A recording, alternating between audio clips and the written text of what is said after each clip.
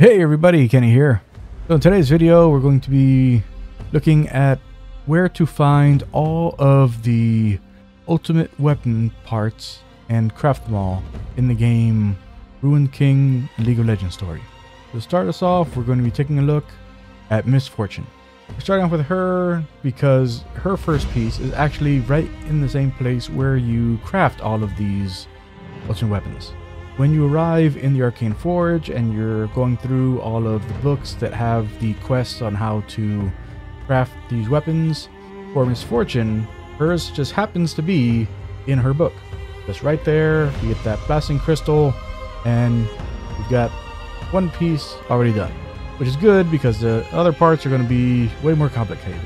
For the next thing, you're going to need to collect these pieces of a set of blueprints that are going to be used as part of the recipe, I guess.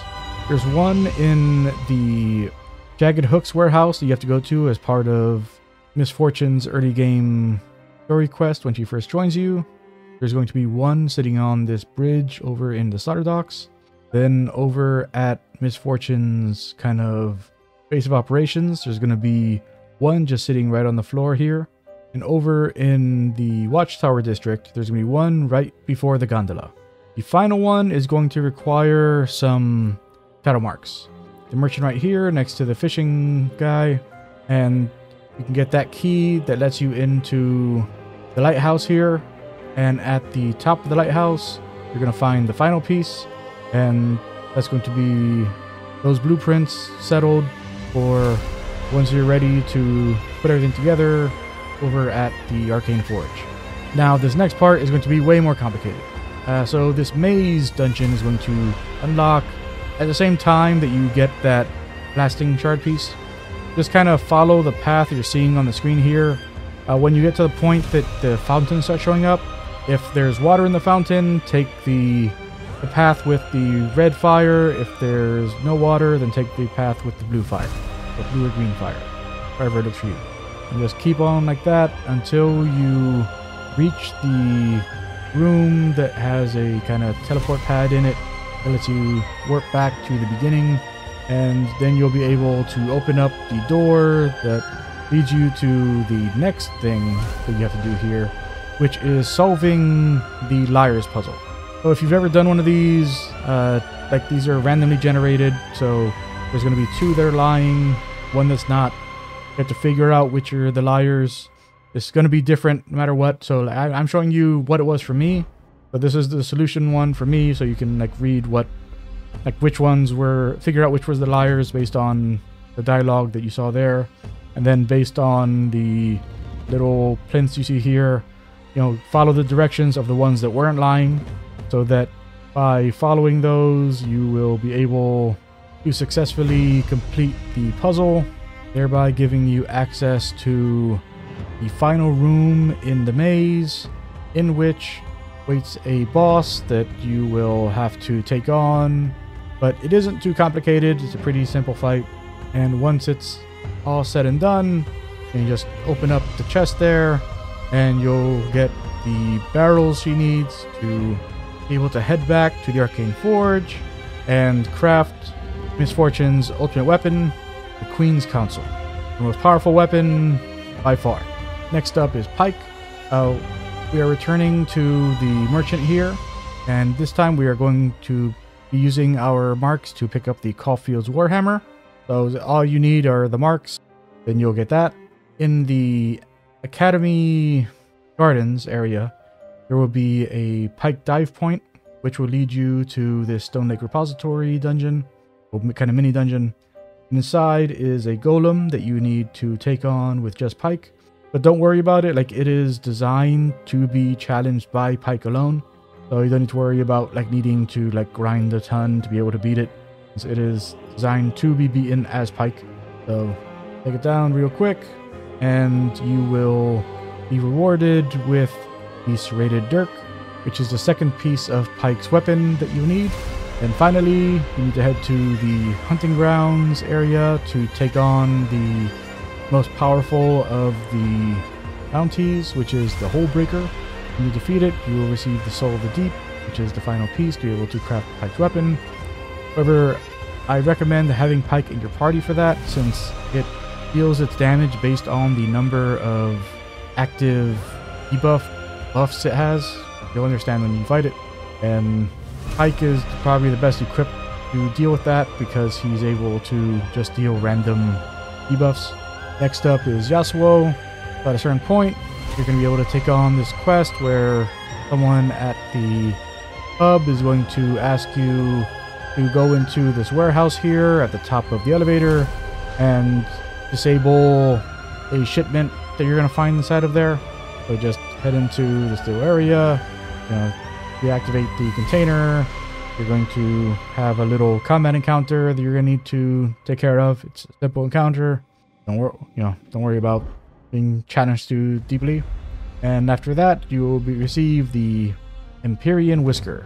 The next piece you're going to get as part of Pyke's story quest to just activate these like little wind things in this order, and that will make this chest appear. And inside of it, you'll get the maple seeds that are part of Yasuo's ultimate weapon.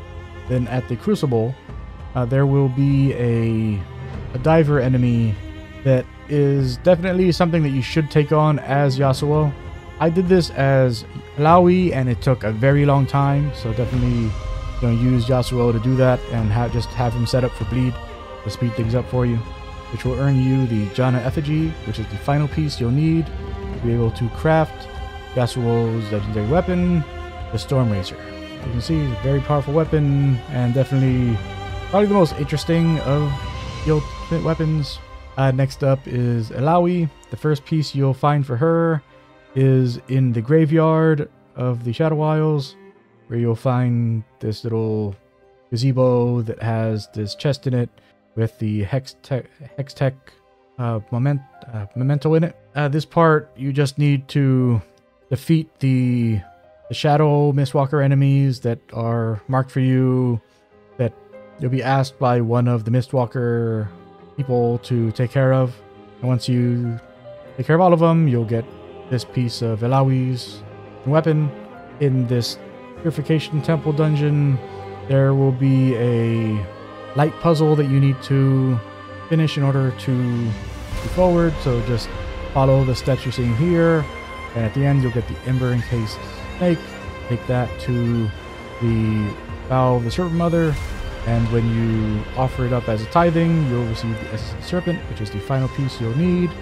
You'll be able to craft Illaoi's weapon, the Heart of the Goddess. Great weapon for Illaoi, and honestly, like the perfect accompaniment for her build for me, and she was one of my main units throughout the entire playthrough.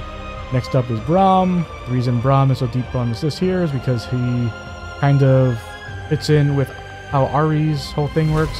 So in the Shadow Vaults, there's going to be this Braum door here. So you just have Braum do his thing, and after the scene ends, you will have a new weapon for Braum. Probably not going to be better than whatever you already had when you reach this point, but it is part of his weapon, so you need that. And the way that he opened up there will be needed for Ahri's Ultimate Weapon quest later. This next part is more complicated. Unfortunately, you're going to have to do some fishing here. So just put on the best rod you have, cast out your line to the fish the furthest out. Uh, try to stay with the path of the fish, so just make sure that the line is staying like blue or white, it's not turning red, until the fish's stamina is all the way depleted. Then you can go and go against the grain if you want, which should get you Ornn's Enchanted Door and the True Ice Crystal which are pieces you need. Well, Thorn's shield isn't something you need, but you need that crystal. And this final piece is in the Vistani Vault. You're going to eventually come across this portal hole, so just have Braum with you. A humorous scene is going to happen, and at the end of it, you're going to have a, a mild combat encounter. And once is all, yeah, once all is said and done, you will come out with the enormous charged crystal, which is the final piece you need to be able to craft Braum's ultimate weapon, the Ornn's Will. Very powerful defensive upgrade for Braum, though to be honest, I never didn't really use him. Next up is Ahri. Is the final character I'm going over here because for her, this is, this is kind of annoying. So this is a like the thing you got for opening that chest isn't why I'm showing that. In order to complete the Veil Jumper bounty, you need to have found all of those chests, which I was able to find the other three just by playing through the game normally. But that one that you found in the Cario Manor, that one was a pain in the ass to find. I took I it took me hours to figure out where that was, and I actually didn't figure it out. I had to look it up because I just got tired of not looking for that chest, but trying to figure out how to fight this guy. But anyway, like once you get that done, you get that midnight token, which is the first of the ones you need for Ahri. Then in the Vault of the Visani, this light puzzle here, I just follow the steps you're seeing.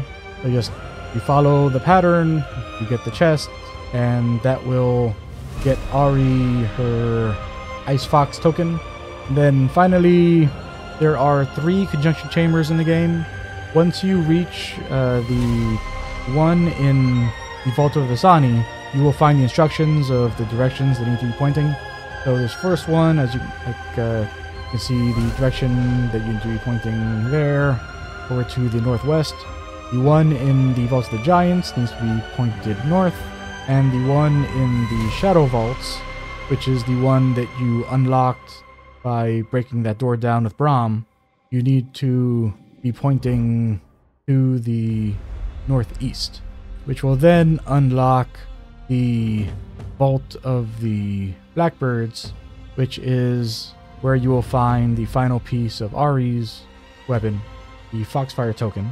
And once you have all of those, you can head to the forge and craft Ahri's ultimate weapon, the Oblivion Orb which just like Illaoi, it fits right into her base thing that makes her an incredible healing unit and is definitely worth getting. That's going to be the end of my series on Ruined King, a League of Legends story. I hope that you have found this guide helpful. If you have, and you would like to see more videos like this in the future, then please do all the YouTube stuff, like, comment, subscribe, share this video with any friends of yours that you think may find this video useful. I appreciate any new faces that they send my way. And with that said, Vae Victus, Virus and Numeris, and bye.